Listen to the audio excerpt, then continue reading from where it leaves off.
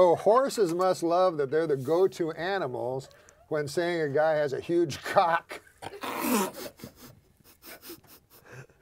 I bet giraffes have huge cocks, I'm sure of it. but let's face it, Kevin, no one's ever going to say, that guy is hung like a giraffe, unless his cock is yellow and has brown spots on it. In which case, who cares how big his fucking cock is? He has weeks to live.